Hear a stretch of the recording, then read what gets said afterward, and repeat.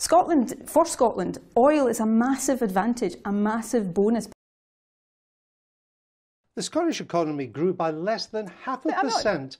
That's a terrible but, record. But you know as, as well as I do that the difficulties that have been experienced in the oil and gas sector have a, a disproportionately heavy effect in Scotland because of the importance of that sector to the Scottish economy. So that has been one of the reasons why we've seen a difference in performance.